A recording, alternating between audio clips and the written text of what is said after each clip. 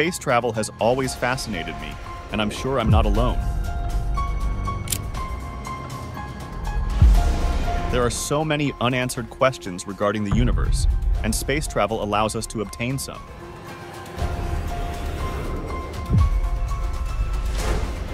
Join us as we look at 20 space traveling secrets revealed by astronauts.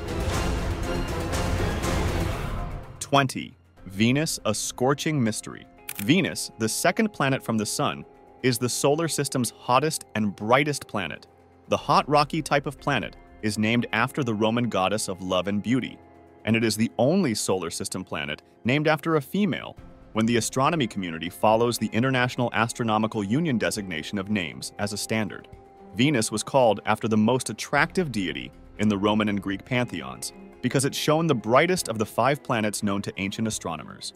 Venus, on the other hand, was known as Aphrodite in ancient Greek city-states. Venus depicts a terrible world in the space age. Because spacecrafts do not survive long on Venus's surface, it is extremely difficult to observe it up close. The reason Venus is the hottest planet in the solar system is convoluted. Although Venus is not the nearest planet to the Sun, its rich atmosphere traps heat in an out-of-control version of the greenhouse effect that we witness on Earth with global warming.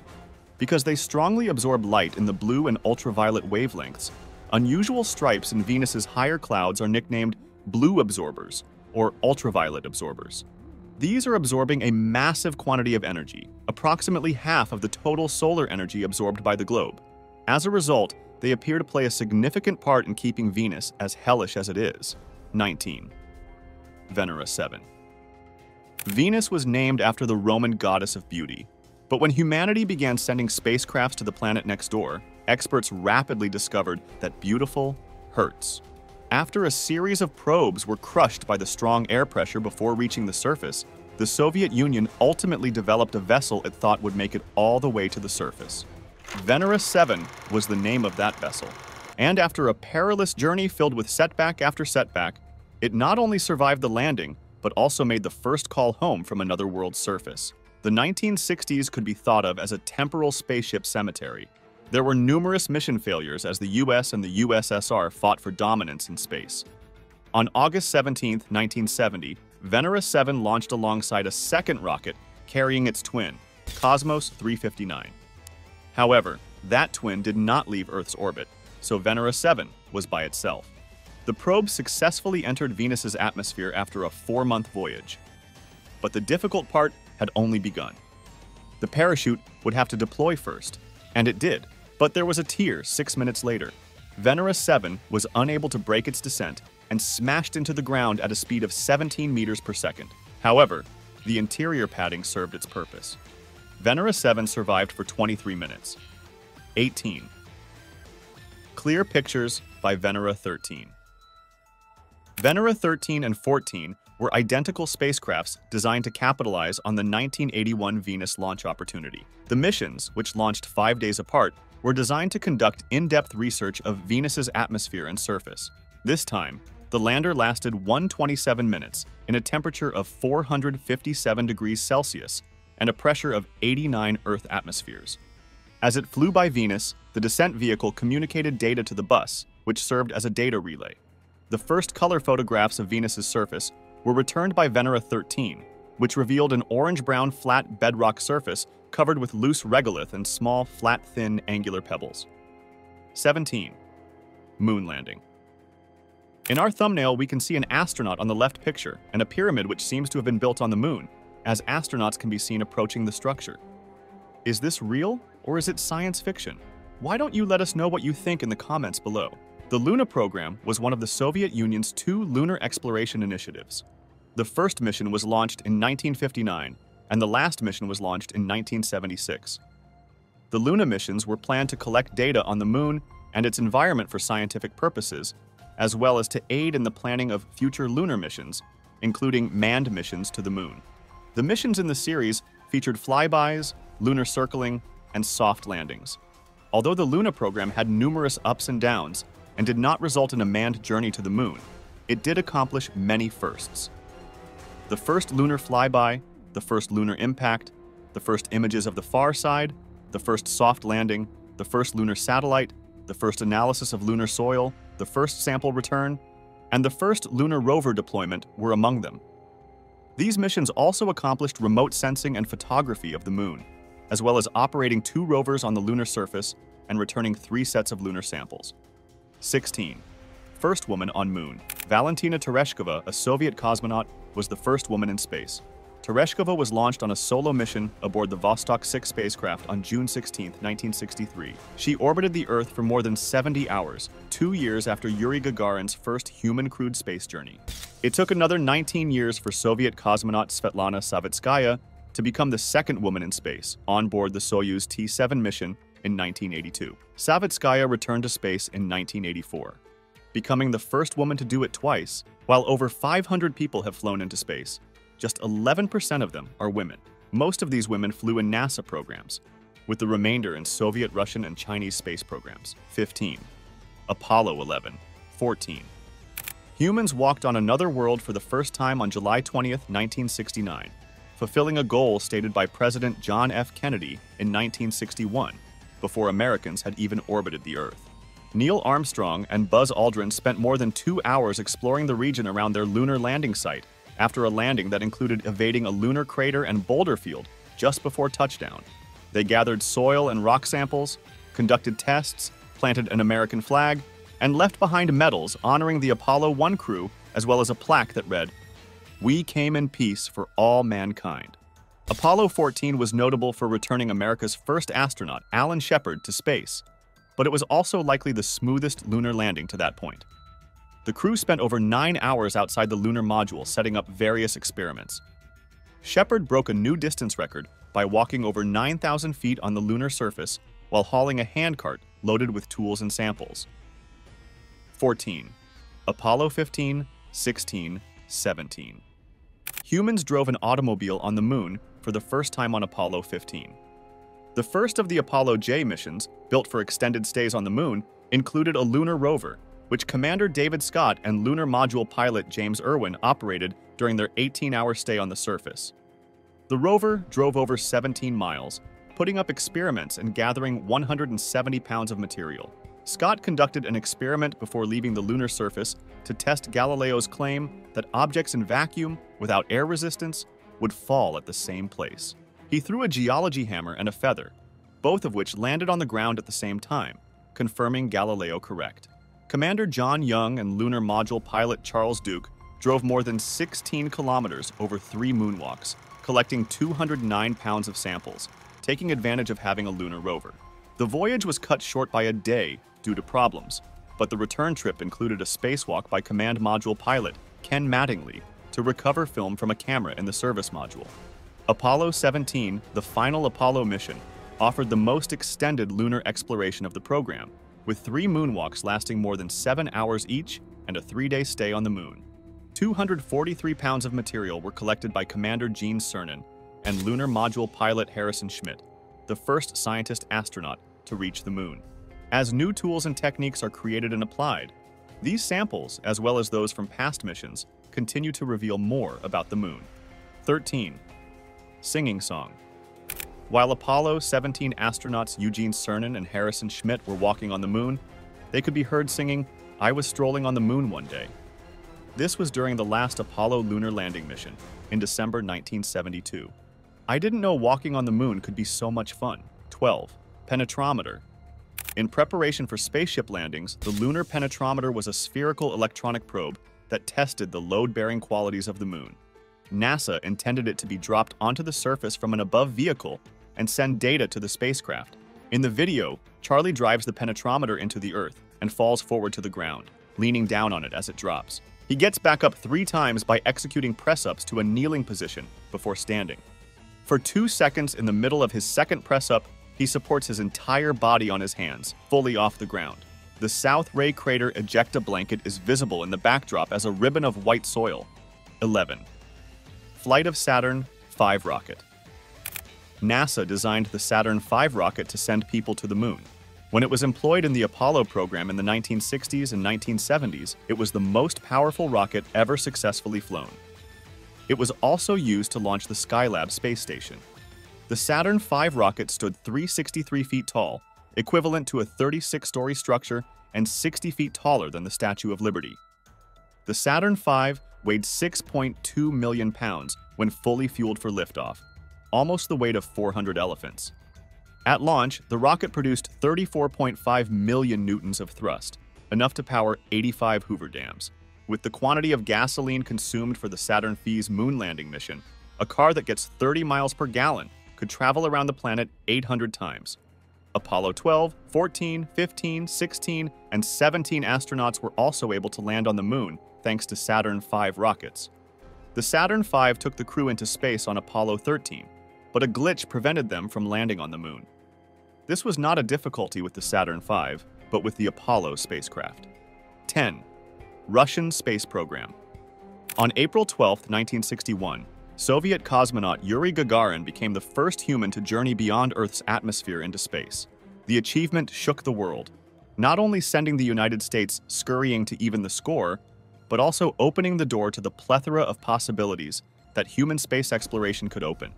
Despite never sending a cosmonaut beyond low Earth orbit, the former Soviet Union and Russian Federation have a long history of human space exploration, including the forthcoming Artemis missions. The Soviet Union was responsible for launching the first human into space, performing the first spacewalk, sending the first woman into space, and assembling the first modular space station in orbit around Earth, all while using the same space capsule that was used in the 1960s. 9. Mars mission challenges and triumphs. Many people are unaware that the Soviet Union was the first nation on the planet to land a spacecraft on Mars in 1971. NASA recently discovered declassified evidence of this landing, which had been kept secret from the public for a long time. Mars 3 was a Soviet Mars program robotic space probe that launched on May 28, 1971, nine days after its twin spacecraft Mars 2. The 4MV orbiter's primary mission was to examine the topography of the Martian surface, evaluate its soil composition, measure various atmospheric variables, and monitor solar radiation, the solar wind, and the interplanetary and Martian magnetic fields. Furthermore, it functioned as a communications relay to send signals from the lander to Earth. 8. The birth of rovers. Before Curiosity, before Opportunity, before Spirit, and before Sojourner, this little guy was the first to land on Mars in December 1971. The Prop M rover was part of the Soviet Union's Mars 3 project, which aimed to land the first mobile scientific instruments on Mars. Prop M stands for Device Evaluation Terrain. Mars. The abbreviation appears to operate solely in Russian. The robot weighed 4.5 kilograms and measured 215 by 160 by 60 millimeters, making it somewhat smaller than a breadbox. It was outfitted with a dynamic penetrometer and a radiation densitometer to assess soil density, and it was connected to the Mars 3 lander by a power and data cable. Once on the ground, the rover moved using two revolving skis or skids. It was self-contained and detected impediments using two simple impact bars on the front. If it collided with something, it would back up and turn. The rover was scheduled to stop every 1.5 meters and take a measurement, with a maximum range of 15 meters. The plan was for the rover to roam around in front of the lander, visible to the Mars 3 cameras, and report back measurements. Unfortunately, Prop M was never given the opportunity to go exploring. On December 2, 1971, the Mars 3 lander detached from its spacecraft and entered the Martian atmosphere. It's possible that the lander was destroyed during its descent by a big dust storm that was raging on Mars at the time. But it's also plausible that the problem was with the orbiter. There's also the angry Martians theory. We'll never know what happened, at least not until one of the current rovers visits the Mars 3 landing site to investigate. 7.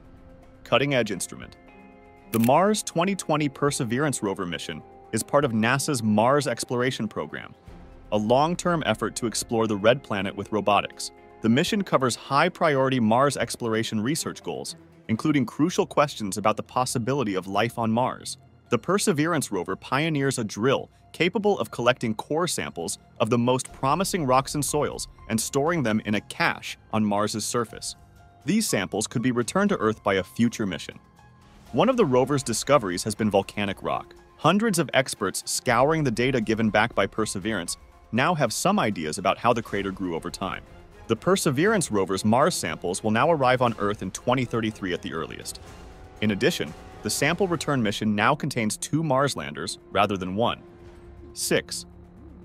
The Quest of Martian Life Mars has become a popular destination. In 2021, China and the United States placed rovers on Mars, while the United Arab Emirates became the first Arab country to place a probe in the planet's orbit. NASA, the European Space Agency, India, and Japan all have forthcoming plans, and the following decades will see ambitious attempts to gather samples and even place human boots on the ground. To date, no evidence of past or contemporary life on Mars has been discovered. The accumulation of evidence implies that the surface environment of Mars contained liquid water during the ancient Noachian period and may have been habitable for microorganisms.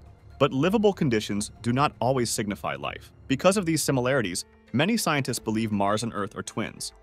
However, they are not identical. Some obstacles would have to be addressed before humans could begin to call Mars home. 5. Studying Mars. Phobos is the largest and innermost of Mars's two natural satellites, the other being Deimos. Asaph Hall, an American astronomer, discovered the two moons in 1877. The Phobos project included a spacecraft that would orbit Phobos and its environment, a lander that would investigate it in situ, and a return module that would transport around 100 cubic centimeters of samples from the enigmatic moon back to Earth. A few of these explorers are currently in orbit or on the surface of Mars. However, Mars's two moons, Phobos and Deimos, have received little attention. So far, Mars-orbiting spacecrafts have explored the two moons remotely. They have also been seen momentarily during close flybys, revealing various interesting traits. For the present time, there is no credible explanation for the composition and genesis of the Martian moons. 4. Soyuz mission Cosmonaut. Soyuz is a spacecraft series that has been in service since the 1960s with over 140 flights. The Korolev Design Bureau, which is now Energia, created it for the Soviet space program. It is launched from Kazakhstan's Baikonur Cosmodrome, on a Soyuz rocket. Between the retirement of the Space Shuttle in 2011 and the 2020 demo flight of SpaceX Crew Dragon, the Soyuz was the sole way to transfer crew to and from the International Space Station. Even though China launched crewed Shenzhou flights during this time period, none of them docked with the ISS. 3. Sputnik 1 and Sputnik 2. First animal on space. On November 3, 1957, little than a month after launching Sputnik 1, the Soviet Union took the next important step by launching Sputnik 2. Sputnik 2 rushed to capitalize on the first satellite's propaganda, used an animal enclosure, and transported the dog Laika, the first animal to orbit the Earth. The experience inspired the United States to organize its space program. Future Manned Spacecraft Center director Robert Gilruth told historians that when he watched the dog fly up, he knew it was time to get started since it was going to be a serious program to put a man in space. Sputnik 2 weighed 508 kilograms, which was substantially more than its simpler predecessor and was still linked to its booster rocket after reaching orbit. No plans were made to recover Laika due to a lack of development time. The environmental control system had not been built for a long mission. On November 10th, the satellite's batteries died, and data from the science investigations stopped to be received. On April 14, 1958, Sputnik 2 exploded upon re-entry, it would be nearly three years before the Soviet Union orbited another animal, this time safely returning the complete crew to Earth. 2. Sputnik 3. Sputnik 3 was a Soviet satellite launched from Baikonur Cosmodrome on May 15, 1958, by a modified R7SS-6 ICBM. The scientific satellite was equipped with a diverse set of instruments for geophysical study in the upper atmosphere and near space. The only Soviet spacecraft launched in 1958 was Sputnik 3. Sputnik 3, like its American counterpart, Vanguard 1, was launched into orbit during the International Geophysical Year. Sputnik 3 weighed roughly 100 times as much as the heaviest of the three active American spacecraft and outperformed their combined scientific data capabilities. It was conical in shape, 11.7 feet long and 5.68 feet wide at the base. Sputnik 3 re-entered the atmosphere and burned up on April 6, 1960, it was fueled by silver zinc batteries and silicon solar cells and ran for around six weeks. 1. Space Cooperation Agreement Collaboration in space between the United States and the Soviet Union remained low during the 1960s, with the relationship characterized more by competition than cooperation. In the early 1970s, during a period of détente, the two countries initiated discussions to build a shared docking system. On May 24, 1972, during their summit conference in Moscow, President Richard M. Nixon and Premier Alexei N. Kosygin of the United States and the Soviet Union signed an agreement on space cooperation, laying the framework for the Apollo-Soyuz test project, the first international human spaceflight, which took place in July 1975. I was not aware that so many spacecrafts had been sent on Venus and Mars. But after seeing these videos, I am. Which one was your favorite? Why don't you let us know in the comments below? Well, that's it for now. I hope you enjoyed this video. Please give us a like and let us know in the comments what you think. Check out our other videos and subscribe to be part of the fun. Click on the notification icon so you can see our new videos as soon as they're uploaded. Thank you for watching and see you next time.